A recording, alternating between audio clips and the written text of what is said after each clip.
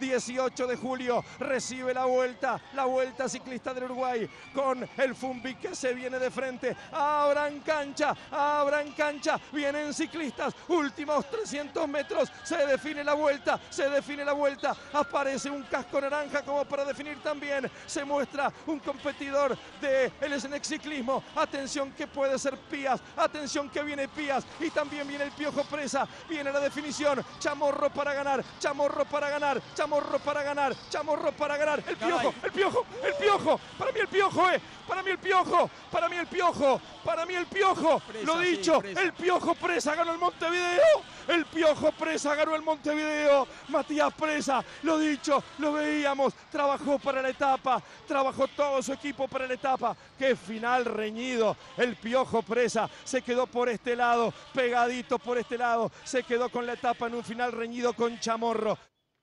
Y nos queda para el final premiar al mejor, al número uno que tuvo esta vuelta ciclista del Uruguay. Ayer rompió todos los cronómetros, hizo estallar los relojes en Fraiventos. Carlos Oyarzún, selección de Chile. Fuerte el aplauso para él. El campeón de la vuelta ciclista del Uruguay. Hermosa copa que entrega claro, bien en alto los brazos. Hermosa la copa que se va a llevar para Chile, para San Bernardo.